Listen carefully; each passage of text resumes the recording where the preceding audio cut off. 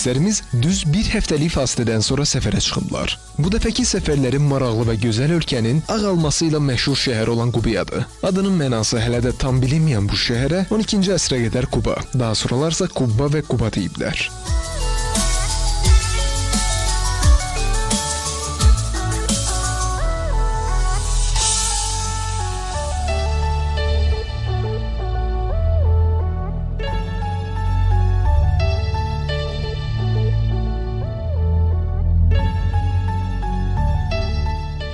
Azərbaycanlılarla yanaşı ləzgilərin, Yahudilərin, Tatların, Rusların və digər millətlərin də yaşadığı bu tolerant şəhərə yollanan turistlərimizin başına hansı hadisələrin gəldiyini və kimin qalib olduğunu bilmək üçün cəmi 25 dəqiqəniz var.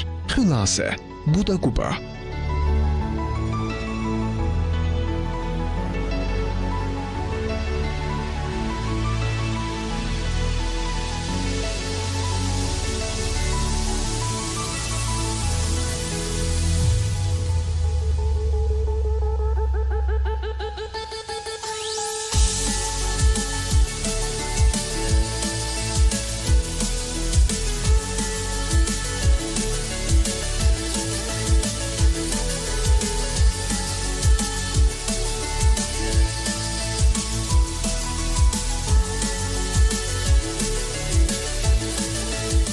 Hamıya salam. Düz bir həftədən sonra fototur yenə efirdədir. Təbii ki, artıq almaları görürsünüzsə, bu o deməkdir ki, biz Qubadayıq. Bəli. Məşhur bir mahnı var. Hansı mahnı? Qubanın ağal Qubanın ağalması. Biraz bilgəniz oxudum nəsə. Eee Hə, de, Hə. danış, hə. Onu danışmaq Keçən istəyirəm. il mən qalib gəldim və Tural mənə plastik kart verdi və həmin kartın içərisində heç bir məbləğ olmadı. Niyə ki bilsən? Bu dəfə sən qalib gəlsən mən veriləcəm. Axı sonrasını danış da. Gedəndən sonra mənim sənə verdiyim o pulları olmadı. Gedəndən 10 sonra faiz pul artıq ver. pul verdiyimi danış. 10 faiz artıq. Artıq 10 10 faiz manat verir. pul verir hörmət tamaşaçı və bu ondan 10 faizdir. Nə istərsə. Quba barədə necə məlumatlısın? Və əlbəttə ki, mən Azərbaycan bütün rayonları, şəhərləri barədə tam məlum, tam da olmasa məlumatlıyam biraz. bilirəm ki, yaxşı olacaq. Ha, inşallah deməli nə yemək lazımdır? Alma götürüb, özü səhər-səhər mən sənə deyim ki, insanı yuxudan oyadan tək Yeganə meyvə, meyvə. tək, bəli, meyvələrdən biridir. If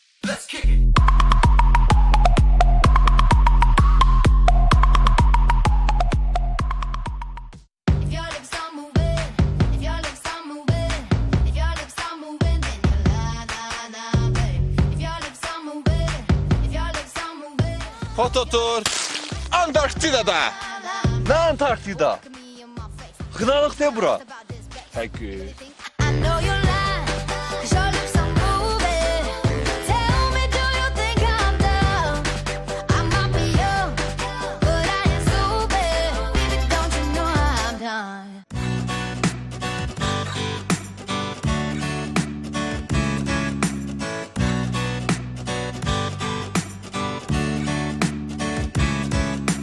Qədim Qubanın müasirliyini özündə əks etdirən qırmızı qəsəbə.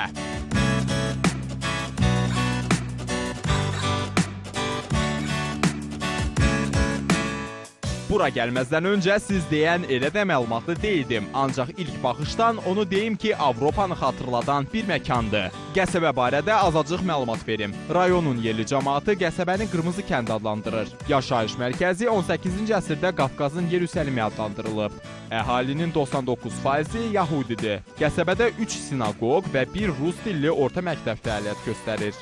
Nəyə görə qırmızı adlandırılması isə evlərin damlarının çoxunun qırmızı rəngli kremetlərlə örtülməsindəndir. Buranı ziyarət etmək fikrinə düşsəz, o zaman Quba rayonundan Qusara gedən yoldan istifadə edə bilərsiniz. Yolun üzərindən keçərək böyük yazını da görə bilərsiniz. Bax elə mənim dayandığım körpü vaxtilə köhnə şəhəri və mərkəzi birləşdirən yeganə keçid olub.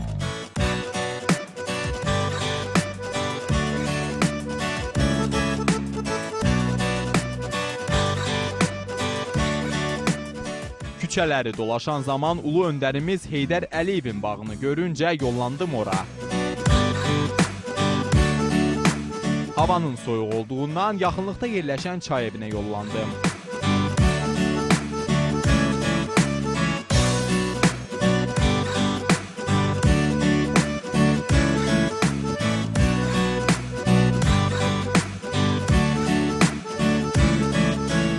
Buranın sahibəsi Sədaqət xanım məni görüncə tanıdı. Özümü bir anlıq məşhur televiziya ulduzu kimi hiss etdim. Verilişlərimizi sevə-sevə izlədiyini bildirdi və məni ayrıca olaraq çay masasına dəvət etdi. Söhbət zamanı aydın oldu ki, Sədaqət xanım həm də idmançıymış. Mənimlə qol güləşdirmək qənaətinə gəldi. 1 2 3 başladıq.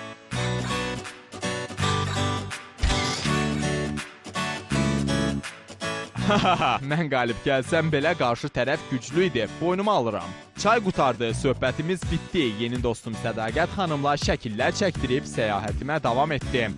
Tural, estafeti sənə ötürürəm.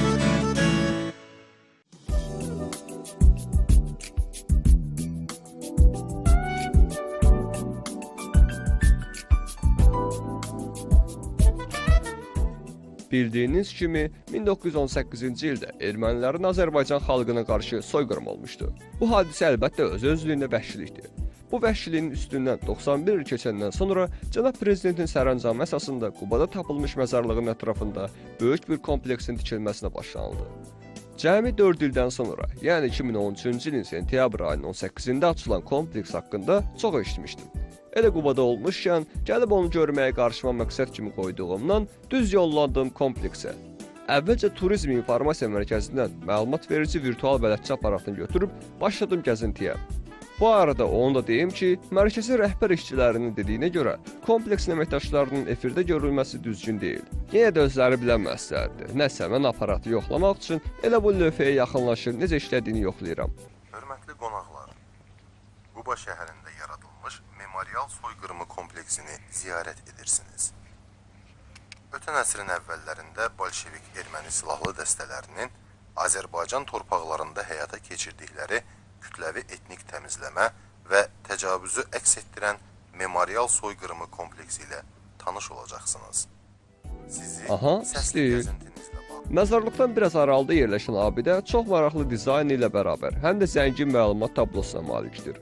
Girişində Quba şəhərinin o vaxtki şəkillərinin nümayiş olunduğu kompleksin içərisində Azərbaycanın soyqırıma məruz qalmış, başqa şəhərlərində baş vermiş dəhşətlər haqqında müfəssəl məlumatlar verilib.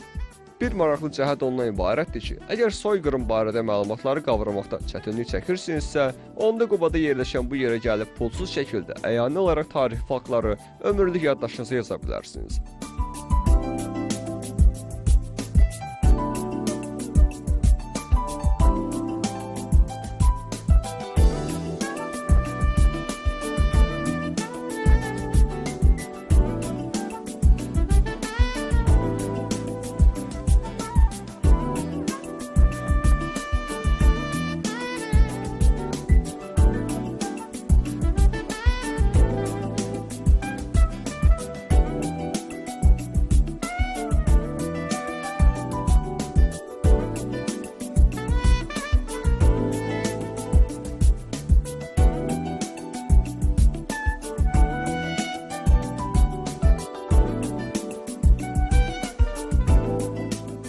İnşasında yerli memarlarla yanaşı Türkiyəli və İtaliyalı memarların da çalışdığı abidənin içərisində yerləşən böyük bir monitorun qarşısında oturub sənədli film də izləyə bilərsiniz. 1918-ci ildə mayın 14-də onlar Digah kəndini aldılar. Amazaspın dəstəsində bir nəfər də olsun rus yox idi. Yalnız ermənilər idi. Hamısı da sonuncuya qədər qatı daşnaqsakan idi. Amazaspın özü də qatı daşnaqsakan idi. Hesab edirəm ki, cəza dəstəsi Qubaya Şamiyanın arzusu ilə göndərilmişdi. Lakin qoşun seçimi hərbi nazir Karqanadan asılıdır. Sonda onu deyim ki, əgər Qubaya gəlmisinizsə, onda mütləq bu yerə gəlməyi unutmayın. Hə, bu da kompleksin tikilməsinə səbəb olan məzarlıq. Burada bizə ancaq bir söz demək qalır. Allah rəhmət eləsin.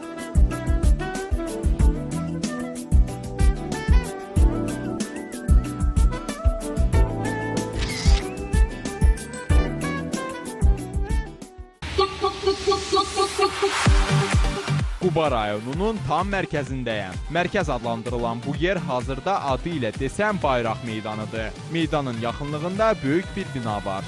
Yaxınlaşdığımda buranın gənclər evi olduğunu öyrəndim. Daxil oldum içəri və buradakı gənclərlə tanış oldum. Left right gonna change your life.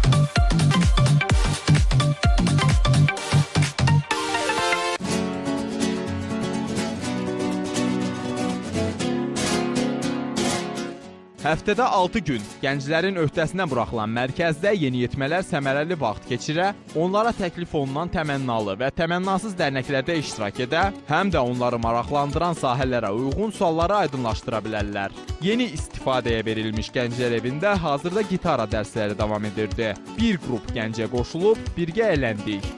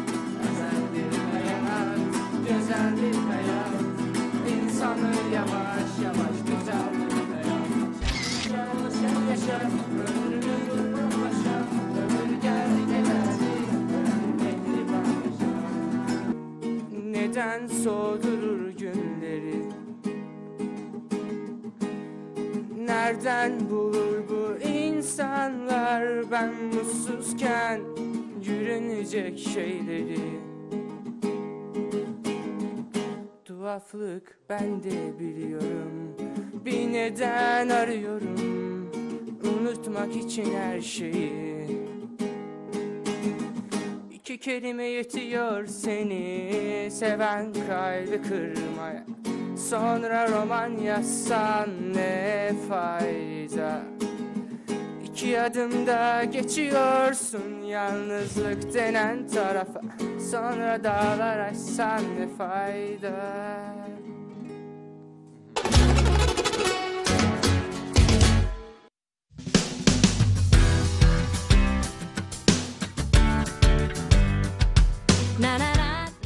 Quba səfərimizin ilk günündə Xınalığa yollanırdım ki, yolda Sabirin də ora getdiyini gördüm. Nəsə, lənət şeytana deyib Sabirlə birlikdə məşhur Xınalı kəndinə yollandıq. Yadınızdadırsa biz İsmaili verişində birlikdə Lahaça getmişdik. Düzdür, onda yol boyu bizi sıldırımlı qayalar müşahidə edirdi. Amma mən sizə deyim ki, o sadəcə sıldırımlı qayalar idi. Xınalıq yolundakı bu qayalar Sabirin təbirincə desək, əsl 12 idi. Çox əzəmətli, vahiməli, təhlükəli və eyni zamanda da ekstrem yaşadan bu qayalarla uzanan yolu keçməkdə hələ ki davam edirik.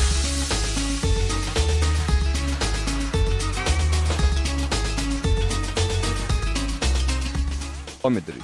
Budur, artıq Xınalıqdayıq. Dünyada dəniz səviyyəsindən ən yüksəkdə yerləşən kəndlərdən biri kimi siyahıya daxil edilən Xınalıq adının tarixi ilə heç bir əlaqəsi yoxdur.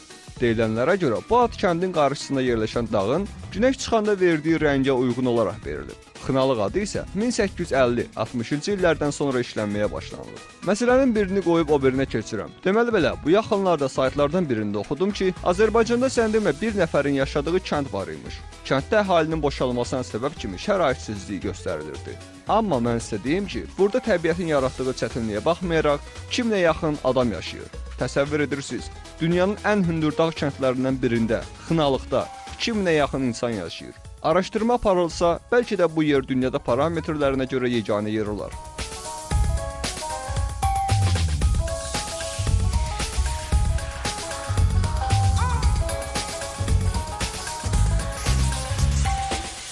Biraz öz başına kənddə gəzəndən sonra gəlib Xınalıq Tarix Etnografiya Muzeyinə çatdıq.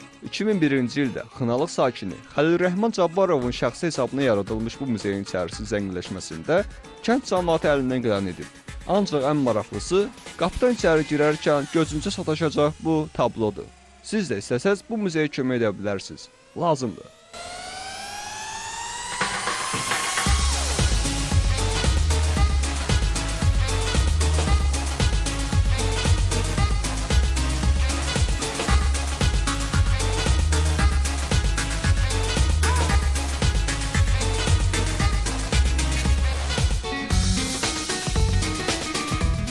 Belə, biz xınalıqda olduq, şəkil çəkdirdik.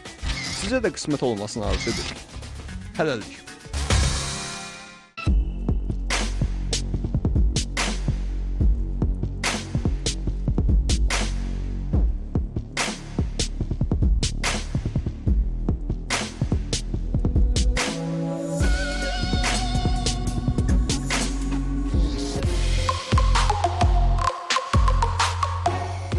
Bu da möhtəşəm Qubanın möhtəşəm oteli Rixos.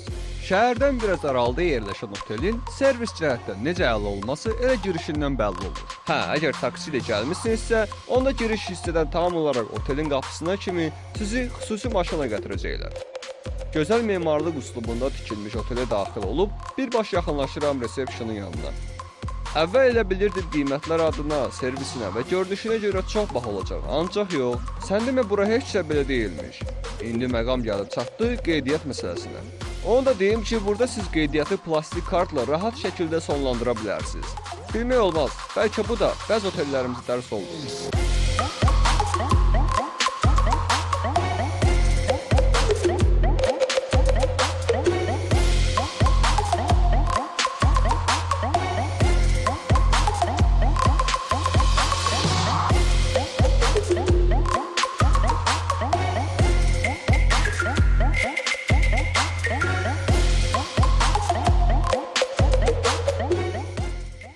Bu da mənim nömrəm. Başlayaq görək nə var, nə yox. Otaqla tanışdığım ilk olaraq ayaq yolu və hamamdan başlayır. Tanışlıq deyəndə ki, daha doğrusu istifadəm. Hə, indi içəri interyerini göstərmək olar. Adını çəkməyəcəm, amma bir dəfə şəhərlərdən birində qaldığım otaq mən deyərdim bu nömrənin hamam tualetindən kiçik idi. Artıq danışığa ehtiyac yoxdur. Məncə özünüz görürsünüz də necədir.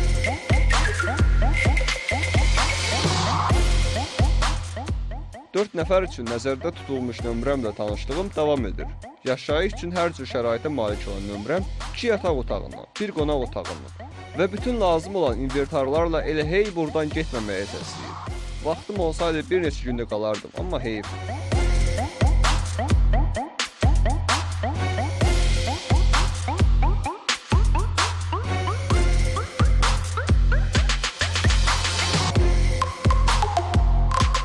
Hər dəfə yataq otağında çarpayının necə olmasını ənənəvi tullanışla müəyyən edirəm.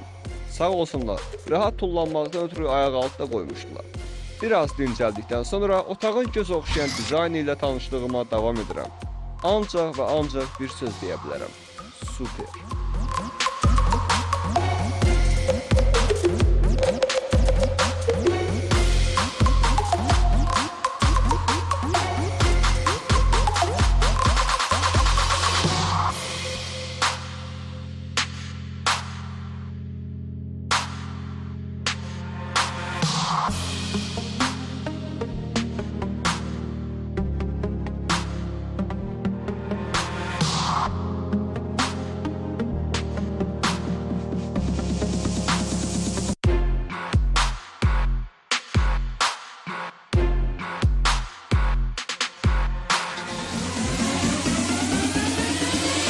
Məşhur Rixos. Adamın bura otel deməyə dili gəlmir. Otellərin ən yaxşısı kəlməsini necəsə ifadə etmək mümkün olsaydı, o zaman məhz elə də adlandırardım bu məkanı. Şəhərdən biraz aralıda yerləşən otelə gəlmək üçün gərək 4 manat taksiyə verib ünvana çatasınız. Qapıdan qarşılama yüksək səviyyədədir. Bunu yəqin baxa-baxa görürsüz.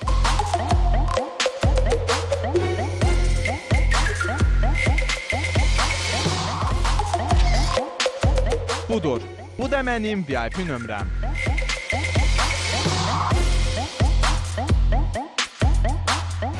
İlk baxışdan dəbdəbəli görünən otelin gecələmək haqqı isə siz deyən o qədər də külli miqdarda deyil.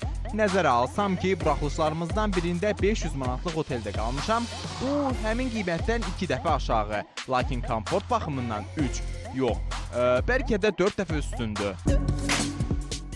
Otaq deyili, təmiz, geniş, göz oxşayan, dəbdəbəli, işıqlı, komfortlu, pəncərədən boylandıqda gözəl mənzərəli, Avropa standartlarına cavab verən lüks. Ah, ilahi, bir sözlə fıskırıq, əla, super.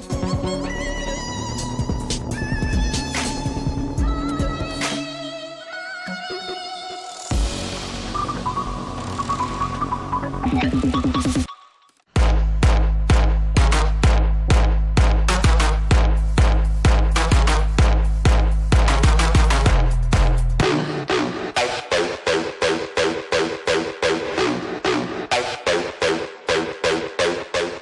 Otelin birinci mərtəbəsindəki bara düşən Tural Sabirlə üz-üzə gəlir. Mimika və jestlərindən bu görüşün xoş olmadığını hiss etdirən Tural daim mübarizədə olduğu Sabirlə birlikdə şirə içməyə məcbur olur.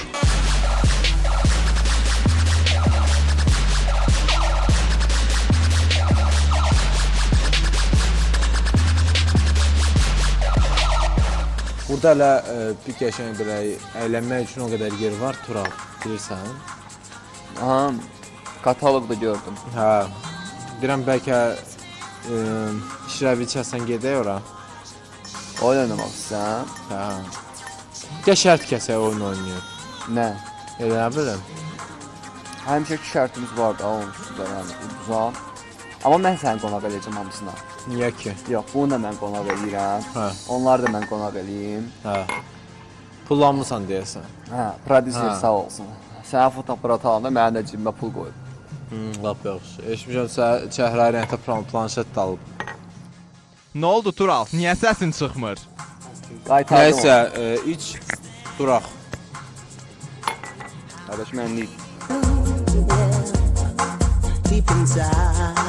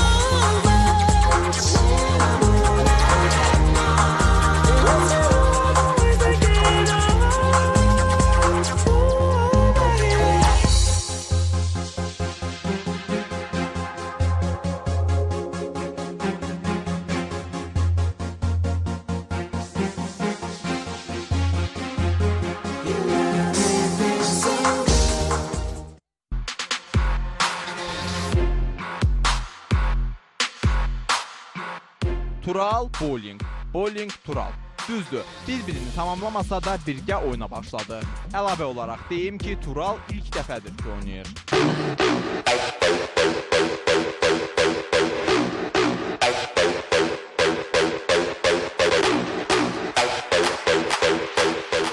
Birinci səfər üçün elə də pis deyil. Ara qızışır.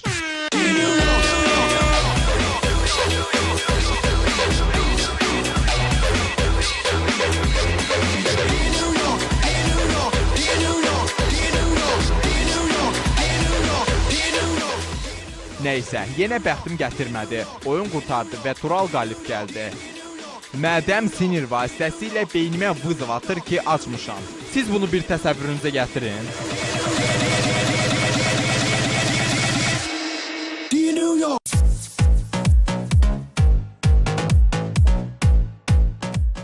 Oyundan sonra turistlər yemək üçün masa arxasına keçdilər. Budur. Ofisiant əlində menyu ilə stola yaxınlaşır. Turistlər yeyəcəkləri yeməkləri sifariş verirlər. Tural Sezar salatı, spagetti bolognese, desertə isə moruqlu cheesecake sifariş verdiyi halda Sabirin ürəyi pendirli çoban salatı, toyuq filesi, desert üçünsə meyvə bağı istəyir. İçməyədəki Turalın sevimli içkisi olan albalı şirəsi. Uşaqlar, öz aramızda ha, iştahınız o qədər də pis deyil. Nəysə, mən sizi hələlik yeməklə baş-başa buraxıb su içmək üçün çıxıram. Nuş olsun.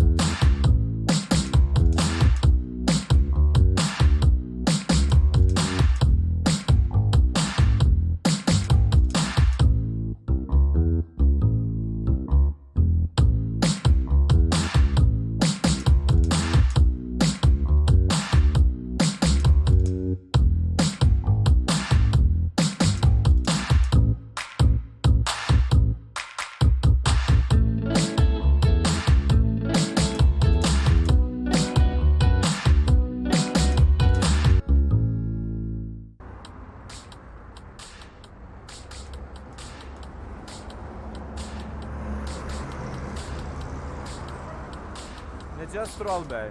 Çox sağ olun. Sabahınız xeyir, sağ olun. Sabahınız xeyir. Siz necəsiniz? Sağ olun, yaxşıyam. Necə istirahət eləmisən? İstirahət deməzdim, yəni səyahətim yaxşı keçir. Aa, səyahətin yaxşı keçir. Bəli. Deməli, Mən bura istirahət eləməyə gəlməmişəm, mən bura səyahət etməyə gəlmişəm. gördüm, gördüm, otelindən gördüm ki, nəyə gəlmişdin? Elə sən də elə bir həmin oteldə qalmışdın. Stil da, əlaydı. Nəysə, mən hələ də başa düşəmirəm ki, sən nə icaz cibindən bu qədər verib həmin oteldə qalmışsan, yəni isə müəmmalı məsələdir. Bilirsən, e, prodüserə bu dəfə insafla gəldi.